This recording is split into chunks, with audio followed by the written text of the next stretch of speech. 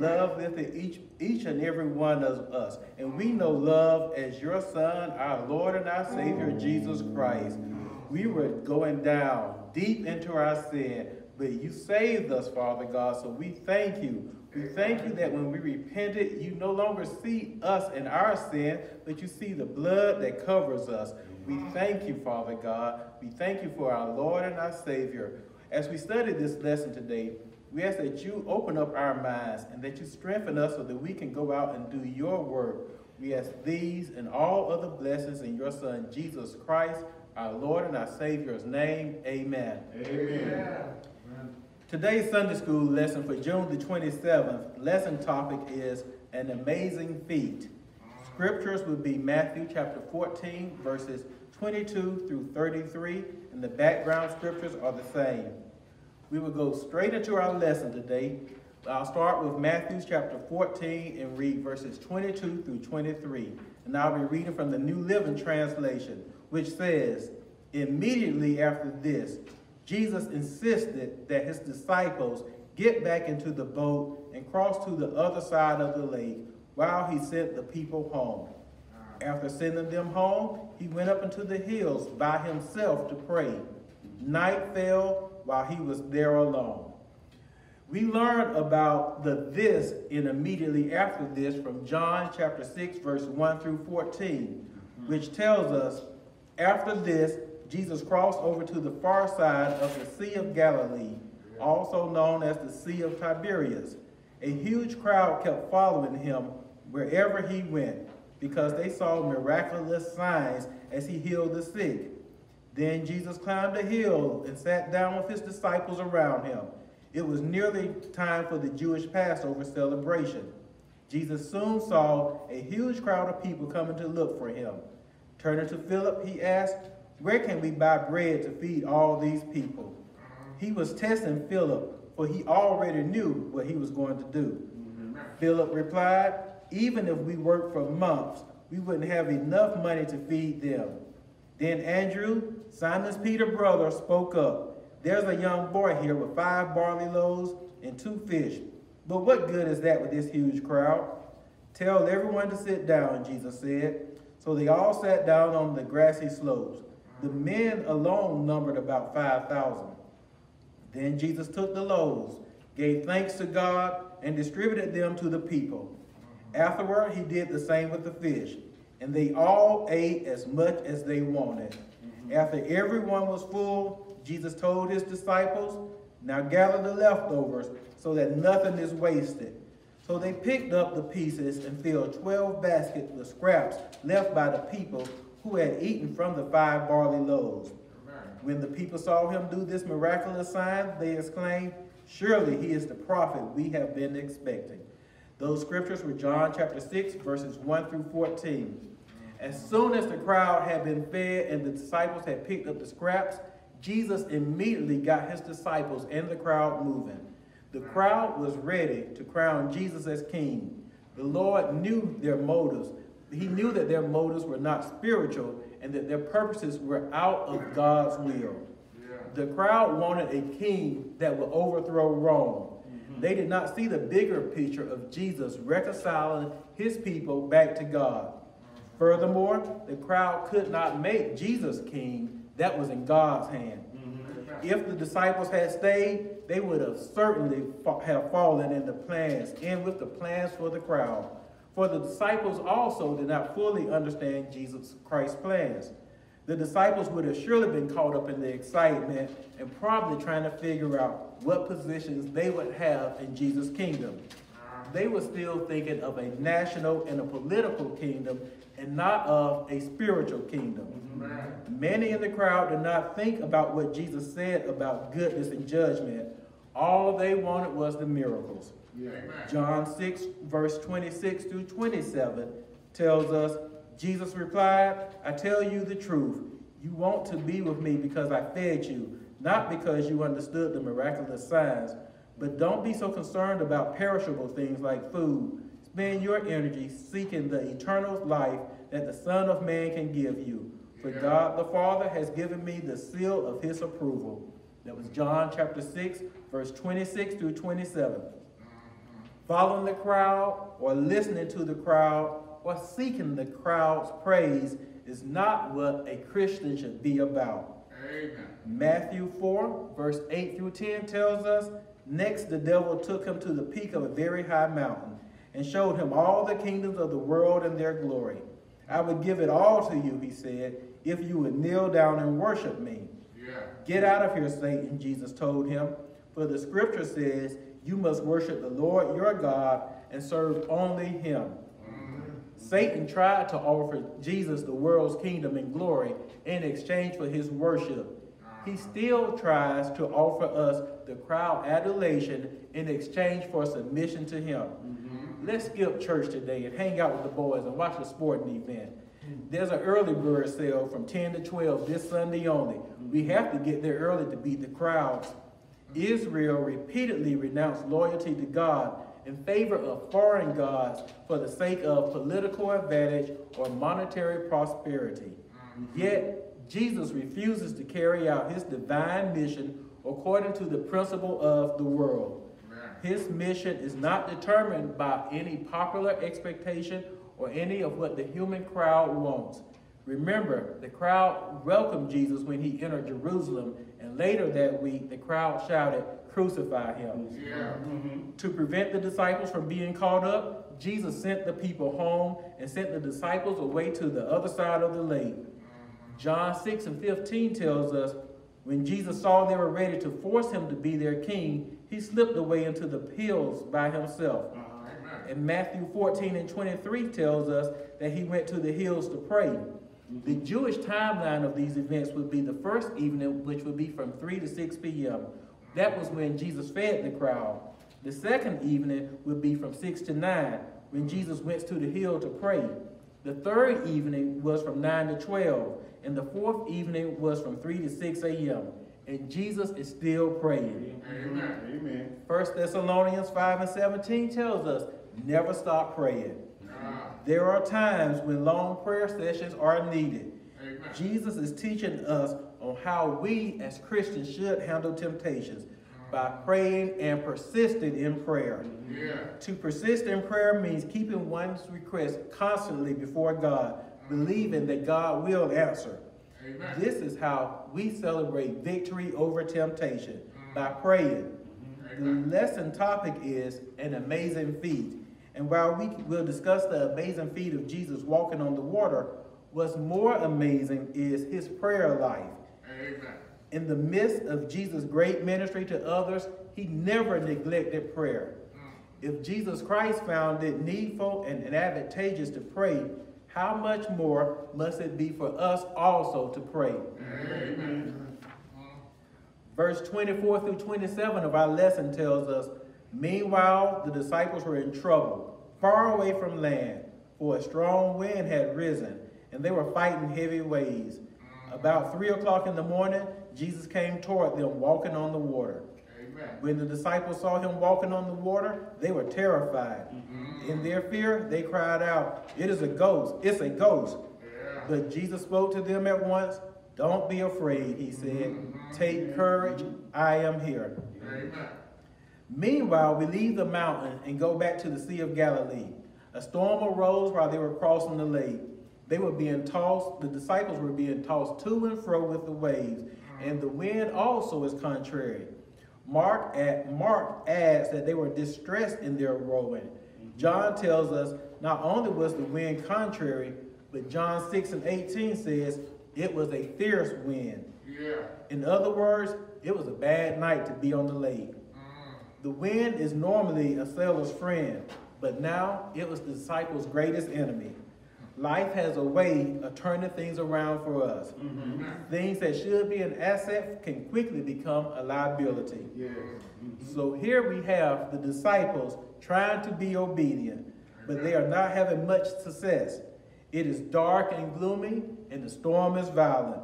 The water is angry, and worst of all, there is no Jesus. Amen. The storm arose while the disciples were doing their best to be obedient.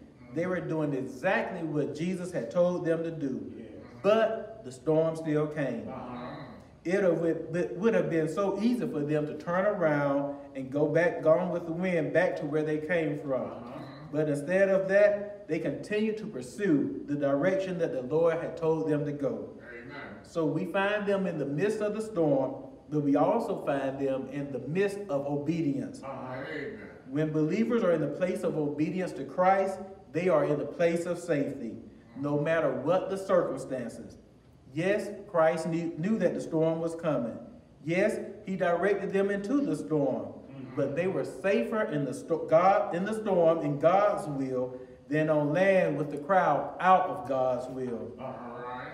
The place of security is not often the place of favorable circumstance. The place of security is the place of obedience to God's will. Yeah. 1 Samuel 15 and 22 says, But Samuel replied, What is more pleasing to the Lord, your burnt offerings and sacrifices, or your obedience to his voice? Listen, obedience is better than sacrifice, and submission is better than offering the fat of the rams. Uh-huh. Matthew 5 and 45 tells us, In that way you will be acting as true children, children of your Father in heaven. For he gives his sunlight to both the evil and the good, and he sends rain on the just and the unjust alike. In other words, everybody has had storms in their lives. Some storms are caused by us. For example, Jonah deliberately disobeyed God and encountered a storm when God sent a great wind while Jonah was on the boat. Ananias and Sapphira deliberately lied to the church and to God concerning their giving. And Acts 5 tells how they encountered a storm and lost their lives. Amen. Some storms come because we willingly, willingly disobey God's light. Mm. But then again, some storm, storms come because we are in God's will. Oh. For example, Job 1, verse 6 through 22 tells us one day the members of the heavenly court came to present themselves before the Lord, and the accuser, Satan, came with them. Yeah. Where have you come from, the Lord asked Satan. Satan answered the Lord, I have been patrolling the earth, watching everything that's going on. Mm. Then the Lord asked Satan, Have you noticed my servant Job? Mm-hmm. He is the finest man in all the earth. Yeah. He is blameless, a man of complete integrity. He fears God and stays away from evil. Amen. Satan replied to the Lord, Yes, but Job has good reason to fear God. You have always put a wall of protection around him and his home and his property. Mm-hmm. You have made him prosper in everything he does. Look how rich he is. Mm. But reach out and take away everything he has, and he will surely curse you to your face. All right, you may test him, the Lord said to Satan. Mm-hmm. Do whatever you want with everything he possesses, but don't harm him physically. So Satan left the Lord's presence. One day when Job's son and daughters were feasting at the oldest brother's house, a messenger arrived at Job's home with this news. Your oxen were plowing with the donkeys feeding beside them. When the Sabeans raided us, they stole all the animals and killed all the farmhands. I am the only one who escaped to tell you. While he was still speaking, another messenger arrived with this news. The fire of God has fallen from heaven and burned up your sheep and all the shepherds. I am the only one who escaped to tell you. While he was still speaking, a third messenger arrived with this news. Three bands of Chaldean raiders have stolen your camels and killed your servants. I am the only one who escaped to tell you. While he was still speaking, another messenger arrived with this news. Your sons and daughter were feasting in their older brother's oldest brother's home. Suddenly a powerful wind swept in from the wilderness and hit the house on all sides. The house collapsed, and all your children are dead. I am the only one who escaped to tell you. Job stood up and tore his robe in grief. Then he shaved his head and fell to the ground to worship. He said, I came na- naked from my mother's womb, and I will be naked when I leave. Yeah. The Lord gave me what I had, and the Lord has taken it away. Praise the name of the Lord. In all of this, Job did not sin by blaming God. Amen. Amen. The story of Job is a perfect example of a storm, multiple storms, coming because we are in God's will. Yes, yes. We know that when Satan came to God concerning what was happening on earth, God challenged him, saying, I want you to look at Job. He's a perfect man. Mm-hmm. Job was faithful. He was a perfect man in God's sight. And he was going through the storm of his life. Amen. When we are doing God's will, when we are in the very center of what God wants for us, the storms may still come. Uh-huh. Some storm, storms come because we are in God's will. Yes. Just, be, just because you are encountering a storm in your life does not mean that you are out of the will of God. Uh-huh. Just because you are having difficulties in your life does not mean that you are willingly disobeying, will, willfully disobeying Him. Amen. You can obey God, walking in all the light you could possibly have, right in the center of God's will, and at that same time encounter a terrible storm in your life. Yes. The point is that sometimes God will send us a storm of testing, and at the same time, He is delivering us from a storm of temptation. Amen. The disciples may have been scared to death, but in the end, they realized they went through this storm not because they were out of God's will, Yeah. but because they were in His will. Yes, amen, the amen. The last time the disciples got a storm like this, Jesus was in the back of the boat, and all he all they had to do was wake him up and have him to stop the storm, mm-hmm. which he did. Matthew 8, verse 23 through 27 tells us that then Jesus got into the boat and started across the lake with his disciples. Suddenly a fierce storm struck the lake, with waves breaking into the boat. But mm. Jesus was sleeping.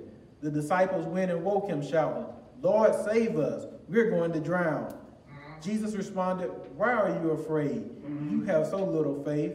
Then he got up and rebuked the wind and waves, and suddenly there was a great calm. The disciples were amazed. Who is this man? They asked. Even the winds and the waves obey him. Amen. But now Jesus isn't with them. To make it even worse, he can't get there because they took the only boat. Yes. Ah. So they had taken the only boat and they had no Jesus. Yeah. And they know that Jesus isn't going to come because there isn't any way to, for him to get there. Amen. But all the while, they're in the middle of the sea, going through all of this entire trauma. Jesus is on the hill praying for them. Yeah. It's wonderful to have your pastor or ministers pray for you. It's wonderful to have a prayer partner pray for you. Uh-huh. It's wonderful to wonderful to have a family member pray for you. It's even wonderful to have the church pray for you. But you know what the good news is? The good news is if you're walking through the toughest time of your life, Jesus is praying for you. Yes, amen, amen. Hebrew 4, verse 14 through 16 tells us So then, since we have a great high priest who has entered heaven, Jesus, the Son of God, let us hold firmly to what we believe. This high priest of ours understands our weakness, for he has faced all the same testings we do. Yet he did not sin. So let us come boldly to the throne of our gracious God. There we will receive his mercy and we will find grace to help us when we need it the most. Amen. Hebrews says that Jesus intercedes for us in our time of needs. Mm-hmm. As we are here on earth encountering storms in our life, our Lord is on the right hand, at the right hand of the Father, interceding for us. Mm-hmm. Yeah. He's interceding for you. He's caring for you. He's mm-hmm. taking your need to the Father. He knows all about your needs because he's been there. He has walked where we walk. He feels what we feel. He knows how it feels to be lonely when you need someone. He has heard the same derogatory names that people call us, and he goes to the Father and he intercedes for us during our storms. While we are being beaten down, battered, tormented, tortured, tossed by the storm, Jesus is interceding on our behalf in the Father's presence. Thank you, Lord. Jesus came to this world to talk to us about God, and now he, he is in heaven talking to God about us. The disciples didn't know it, but they're safe and secure. Mm-hmm. For five or six hours, they've been at it, rowing, struggling, rowing for trying to go more than five, four miles with no mm-hmm. success. But isn't it comforting to know that Jesus knows? Amen. Yes. Jesus knew of their situation long before it happened. And he did not have to rush away from prayer in order to be there on time to help. Our timing is not God's timing. For he is always an on-time God. The storms and the disciples were equally in his hands, and he knew in advance exactly what he would do with both. Mm-hmm. The disciples were obedient in following Jesus' command to depart. So when have you seen the Lord forget about or turn from someone being obedient to his mm. commands? Yes, yes. Psalms 9 and 9 says, The Lord is a shelter for the oppressed, a refuge in times of trouble. Yes, it is. Psalms 18 and 2 says, The Lord is my rock, my fortress, and my savior. My God is my rock, in whom I find protection. He is my shield, the power that saves me, and my place of safety. Amen. Psalms 23 and 4. Even when I walk through the darkest valley, I will not be afraid, for you are close beside me. Your rod and your staff protect and comfort me. Mm-hmm. And Psalms 139, verse 8 through 10 tells us, If I go up to heaven, you are there. Mm-hmm. If I go down to the grave, you are there. Mm-hmm. If I ride, ride the wings of the morning, mm. if I dwell by the farthest ocean, even there your hand will guide me, and your strength will support me. The disciples had seemingly forgot about these scriptures, just like we do when we face situations beyond our own individual resources. Yeah. The disciples had even forgotten Jesus' own words in Matthew 6 and 32, which says, These things dominate the thoughts of unbelievers, but your heavenly Father already knows all your needs. Uh-huh. Matthew 10, verse 29 through 30 says, What is the price of two sparrows? One copper coin? But not a single sparrow can fall to the ground without your Father knowing it. And the very hairs of your head on your on your head are all numbered. Yes. All the disciples could think about was their danger, and all they could feel was fear. Hmm. But Jesus had not forgotten about the disciples, and he came to them through the very danger that threatened to destroy them, hmm. walking on the sea. He used their trial as his footpath. The disciples could not physically see Jesus on the mountain or through the stormy darkness, but Jesus knew exactly what the disciples were. Amen. The previous storm had been during the daytime, but this storm was at night. The disciples will learn, just like us, that Jesus' power is not limited to day or night, or when he is with them, or when he is away. Jesus' power is not limited. Walking on the sea means our Lord has power over gravity and authority over creation. Men are not naturally able to walk on water. The laws of gravity just simply won't allow us to walk on water. Uh-huh. But Jesus is no mere man. Yeah. He is God incarnate. Yes. The one who created the water now walks upon it with complete control. The water that the disciples feared was under his control. The waves that were over their heads was under his feet. Amen. And it does not matter what storm you are going through financial storms, family storms, emotional storms, physical storms. Jesus is on top of it. Yeah. Come on now. Back it up. He knew where to walk, he knew exactly where they were. Uh-huh. Mark tells us that Jesus saw them. Mark 6 and 48. It did not matter that they could not see him. In life difficulties, we sometimes lose sight of Jesus. The disciples are on the sea where it is impossible to see the Lord.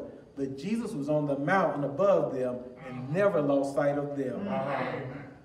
Psalms 139, verse 6 to 12 says, Such knowledge is too wonderful for me, too great for me to understand. I can never escape from your spirit. I can never get away from your presence. If I go to heaven, you are there. If I go down to the grave, you are there. Yeah. If I ride the wings of the morning, if I dwell by the farthest ocean, even there your hands will guide me, your strength will support me. I could ask all the dark, all the darkness to hide me, and the light around me to become night. But even in darkness, I cannot hide from you. To you, the night shines as bright as day. Darkness and light are the same to you. Amen. Amen. Darkness is no barrier. Distance is no barrier to uh-huh. Jesus Christ, the Son of God. He knows everything. Proverbs 15 and 3 says, The Lord is watching everywhere, keeping his eyes on both the evil and the good. Amen. He knows you're sitting down, he knows you're rising up. He knows everything there is to know about you, where you are and what your needs are. It does not matter where you are, He knows because He knows everything. He knows where we are, He knows our distresses, He knows our circumstances, and He knows how to get to us. Uh-huh. Thank you, Lord. Jesus, could have just turned around on the top of the mountain and hushed the mm. storm or made sure that it never started. Uh-huh. But he ran them out to their the disciples out to their limits so that they could learn that in that limit he is still there. He not only came in the storm, but he came on the storm. Yes. There is nothing that can prevent Christ from coming to his own in their time of need. Mm-hmm. Amen. Romans 8, verse 31 through 39 tells us, What shall we say about such wonderful things as these? If God is for us, who can be, ever be against us? Since he did not spare even his own son, but gave him up for us all, won't he also give us everything else? Who dares accuse us from whom God has chosen for his own? No one, for God himself has given us right standing with himself. Uh-huh. Who then will condemn us? No one, for Christ Jesus died for us and was raised to life for us, and he is sitting in the place of honor at God's right hand, pleading for us. Mm-hmm. Can anything ever separate ever separate us from Christ's love? Mm-hmm. Does it mean he no longer loves us if we have trouble or calamity or are mm-hmm. persecuted or hungry or destitute or in danger or threatened with death? As the scripture says, for your sake we are killed every day. We are being slaughtered like sheep. No, despite all these things, overwhelming victory is ours through Christ who loved us. Amen. And I am convinced that nothing can ever separate us from God's love. Neither death nor life, neither angels nor demons, neither our fears for today nor our worries about tomorrow. Not even the powers of hell can separate us from God's love. No power in the sky above or in the earth below. Indeed, nothing in all creation will ever be able to separate us from the love of God that is revealed in Christ Jesus our Lord. Amen. Hebrews verse 13, 5b tells us, For God has said, I will never fail you, I will never abandon you. We should not turn back when storms arise, no matter how terrible the trials. Do you realize that if you have never been in a storm, you would never know how to handle the storm? Right. Amen. Verse 26 says the disciples were terrified when they saw Jesus. Mark adds, they all saw him. So it wasn't just one disciple seeing him, they all saw him. Yeah. At this point, they are terror stricken. Mm-hmm. I mean, it was bad enough to be in the situation that they were in, in the middle of a storm. They were physically exhausted, having struggled against that storm for hours. Uh-huh. And suddenly, out of nowhere, they saw a figure, which they thought was a ghost, walking mm-hmm. on the water. Mm-hmm. Mm-hmm. They were frightened, just like we probably would be too. Yeah. Probably Going into shock Amen. thinking that they had seen the death angel uh-huh. or a premonition of death at their hand. Hmm. Why would they think it was a ghost? Because they were living in fear instead of living by faith. Yeah. Faith would have assumed it was Christ. Uh-huh. But since they couldn't see him, they didn't believe. Hebrews 11 and 1 says, Faith shows the reality of what we hope for, for it is the evidence of things that we cannot see. Uh-huh. They needed to learn that faith in- is believing in something that you cannot see. That's right. But then Jesus spoke to them. Uh-huh. Don't be afraid, he said. Take courage, I am here. Yeah. Yes. This is the lesson for the 12 disciples, and it's the lesson for us also. There is no reason for fear in your life as a Christian. There's no reason to have anxiety or be upset, no matter how severe the storm or how, how hopeless it looks. Jesus, Jesus just comes along and so straightforwardly says, Cheer up, I am here. yeah. He does not give you- them some great speech or some, some great theological description or explain to them how you can walk on water. All right. This lesson is not about how to teach people how to walk on water. This is to teach people who can't walk on water that God can. Yeah. Amen. The Lord's purpose was to demonstrate his loving willingness to do whatever is necessary to rescue his children. Yeah. He did not have to walk on water to save them, but his doing so gave them an unforgettable reminder of the power and extent of his divine protection. Yeah. We will never find ourselves in a place where Christ cannot find us. Amen. And no storm is too severe for him to save us from it. That's right. He protects his own, whom he will never fail nor forsake. Yeah. The lesson for the disciples is the lesson for us. There is no reason for God's people to fear. Amen. There is no reason for anxiety, no matter how hopeless and threatening our problems seem to be. Life is stormy. We know that. It is painful. We know that. Yeah. There are hurts, wounds, and some of us suffer more than others. Uh-huh. But the great confidence of this passage is that you are never away from the authority, knowledge, or protective care of the Savior. Yeah.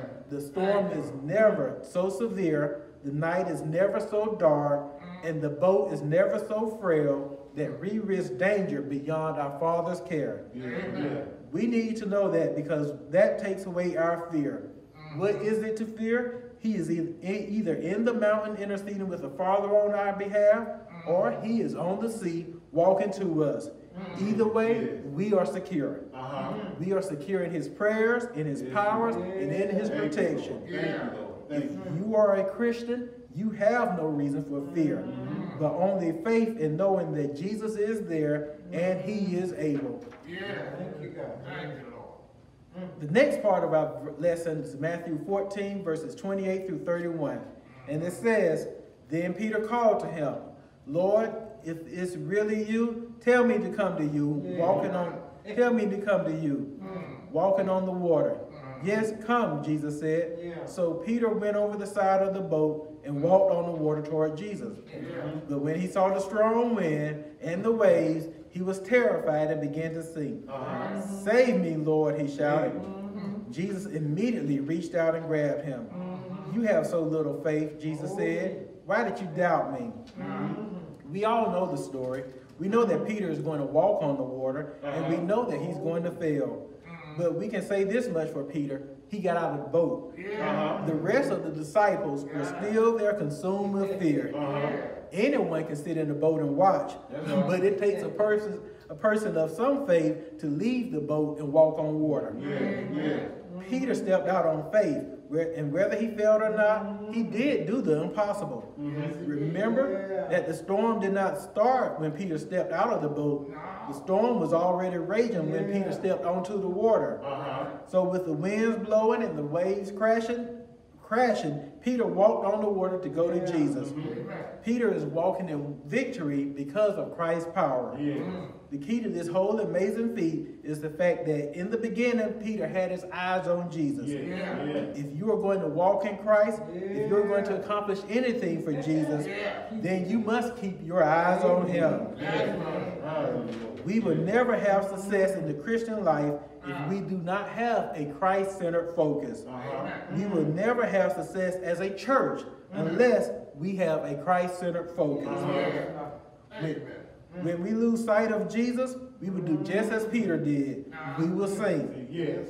In the ship, ship, Peter was totally focused on Jesus and getting to him. Yeah. That had been Peter's goal all along. Peter's goal was not to walk on the water. His goal was to get to Jesus. Yeah. Outside the ship, Peter saw the wind boisterous.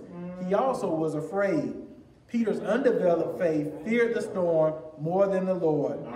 The result was that he began to sink. Yes. Uh-huh. Unbelief puts our circumstances between us and God. Uh-huh. But faith put God's between put God's between us and our circumstances. Right. Again, unbelief put our circumstances between us and God. But faith put God between us and our circumstances. Yeah. Peter could believe God until he saw the wind and until he saw the storm. And when he knew that there was no human way to conquer that problem, he ran out of faith. Uh, Faith is the ability to believe God when there is no human resources. That's right. Faith moves mountains.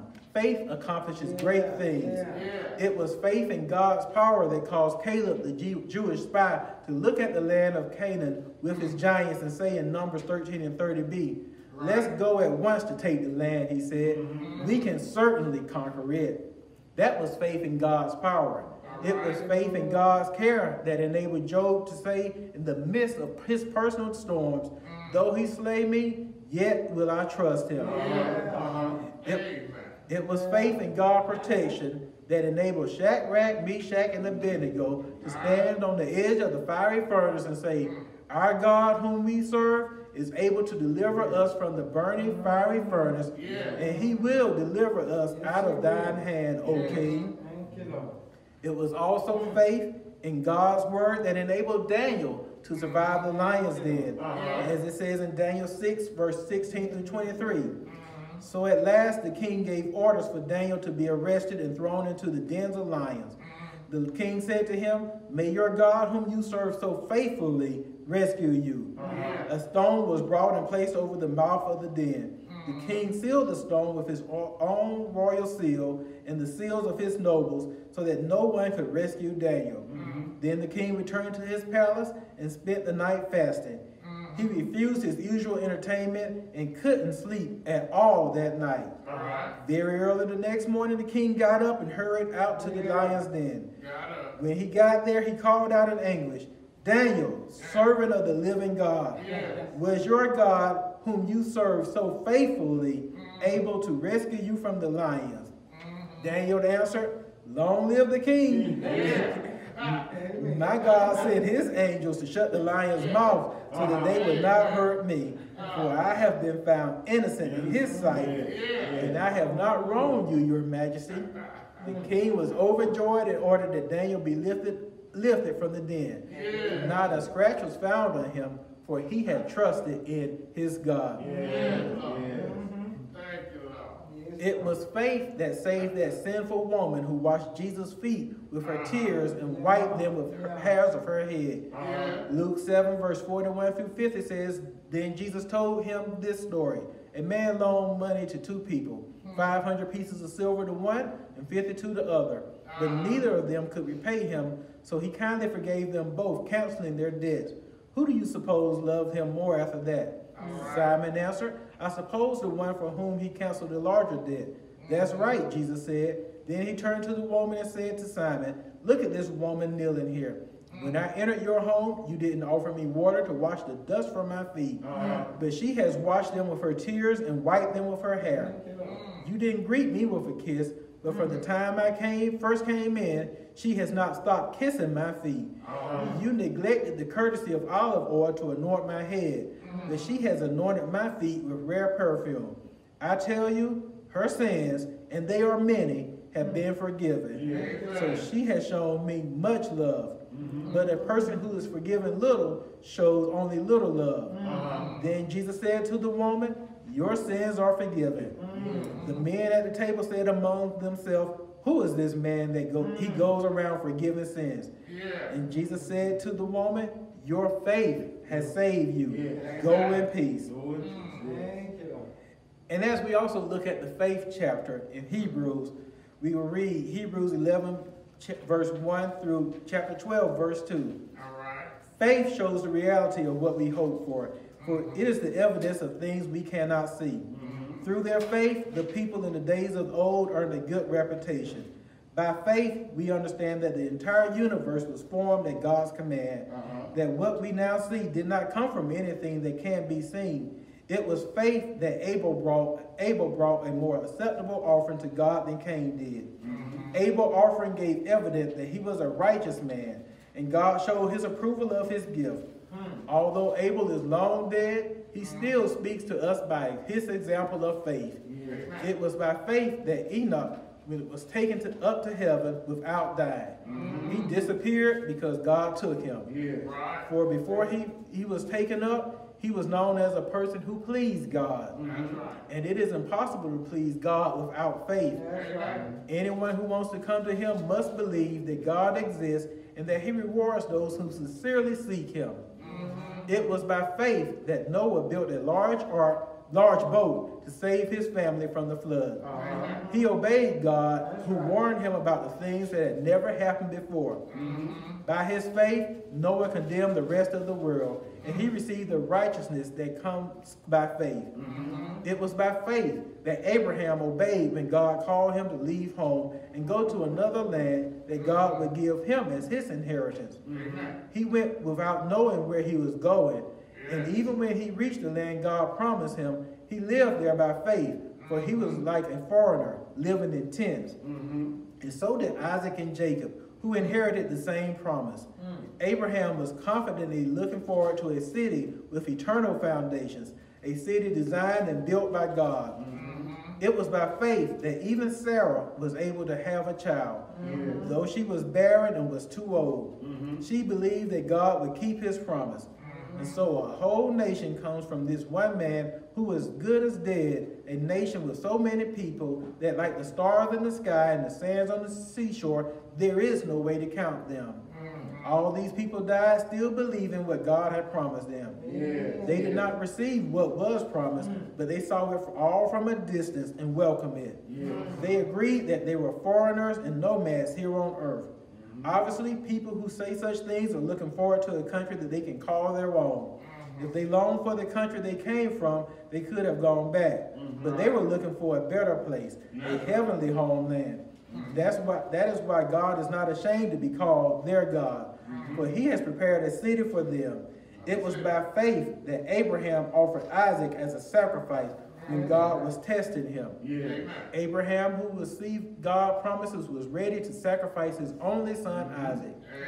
Even though God had told him, Isaac is the son through whom your descendants will be counted. Mm-hmm. Abraham reasoned that if Isaac died, God was able to bring him back to life again. And in a sense, Abraham did receive his son back from the dead. It was by faith that Isaac promised blessing for the future to his son Jacob and Esau. Mm. It was by faith that Jacob, when he was old and dying, blessed each of Joseph's sons and mm. bowed in worship as he leaned on his staff. It was by faith that Joseph, when he was about to die, said confidently that the people of Israel would leave Egypt. He even commanded them to take his bones with them when they left. Ah, it was by faith that Moses' parents hid him for three months when he was born. They saw that God had given them an unusual child, and they were not afraid to disobey the king's command. Mm-hmm. It was by faith that Moses, when he grew up, refused to be called the son of Pharaoh's daughter. He chose to share the oppression of God's people instead of enjoying the fleeting pleasures of sin. He thought it was better to suffer for the sake of Christ than to own the treasures of Egypt, for he was looking ahead to his great reward. It was by faith that Moses left the land of Egypt, not fearing the king's anger. Mm-hmm. He kept right on going because he kept his eyes on the one who is invisible. Mm-hmm. It was by faith that Moses commanded the people of Israel to keep the Passover and to sprinkle blood on the doorposts so that the angel of death would not kill their firstborn sons. It was by faith that the people of Israel went right through the Red Sea as though they were on dry ground. But when the Egyptians tried to follow, they were all drowned. It was by faith that the people of Israel marched around Jericho for seven days, and the walls came crashing down. It was by faith that Rahab the prostitute was not destroyed with the people in her city who refused to obey God, for she had given a friendly welcome to the spies. How much more do I need to say? It would take too long to recount the stories of faith of Gideon, Barak, Samson, Jephthah, David, Samuel, and all the prophets.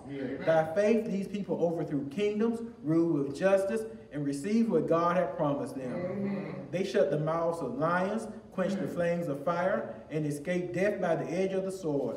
Their weakness was turned to strength. They became strong in battle and put whole armies to flight.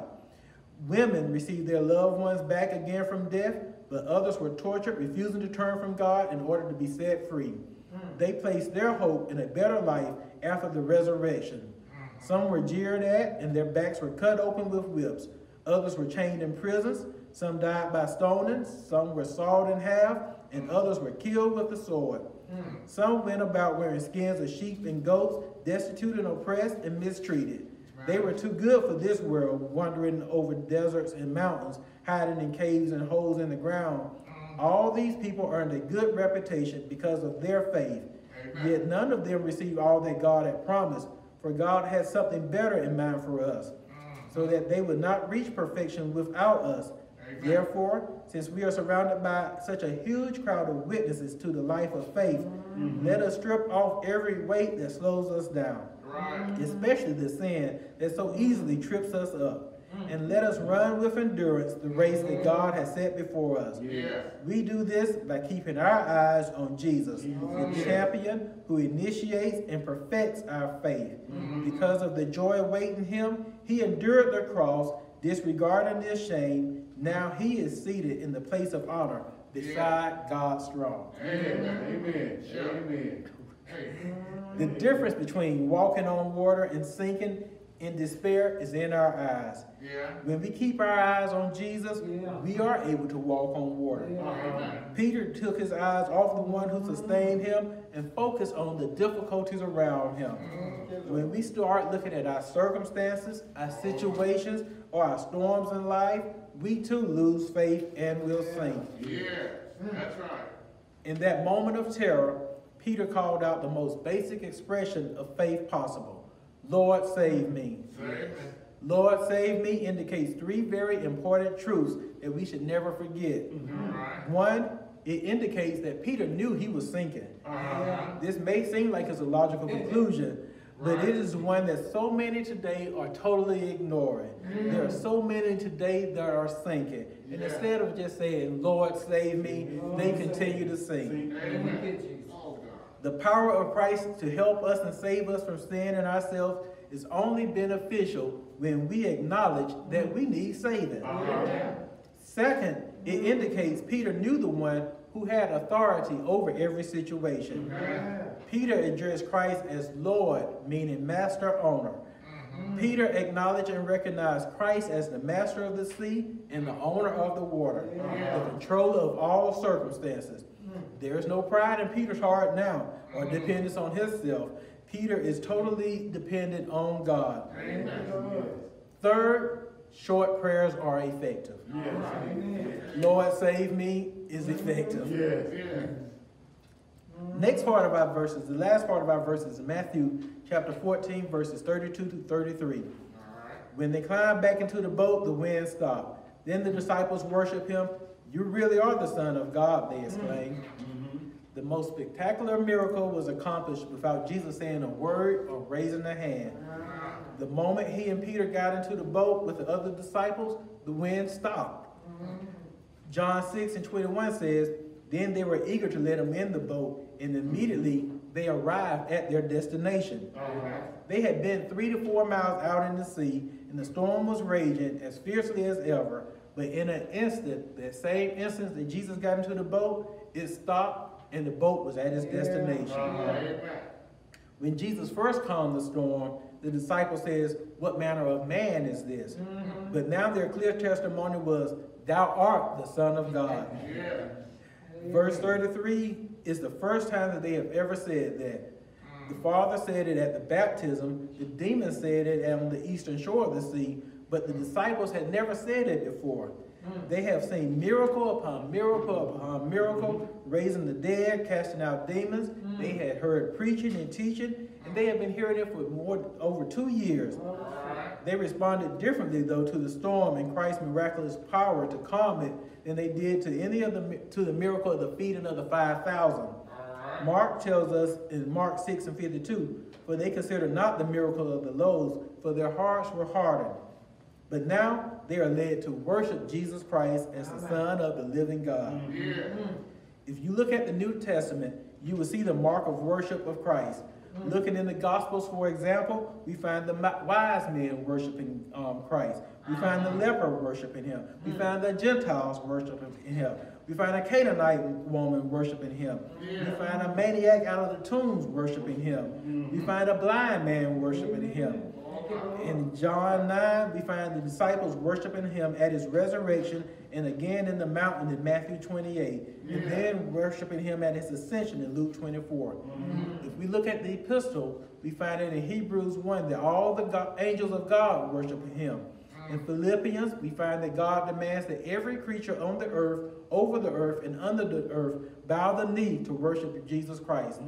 If we go all the way to Revelations, we find him being worshiped by all those in glory in chapter 4, 5, 11, and 19. When John in Revelations fell down to worship an angel, the angel said, Get up, for I am only a creature as you are. Worship God. And yet, when Jesus was worshiped, never did he say, Get up, for I am a creature as you are. He accepted it. They worshiped him in verse 33 because it was clear to them that they had a right to do that because he is the Son of God. Yes. So the message that sweeps its way through the Gospels, the epistles, and the revelation of the New Testament is that Jesus Christ is to be worshipped. Yeah, yeah. Amen. Yes. This concludes our lesson for today. May the Lord watch me and thee while we're absent one from another. Amen. Amen. Amen. Thank you, Lord.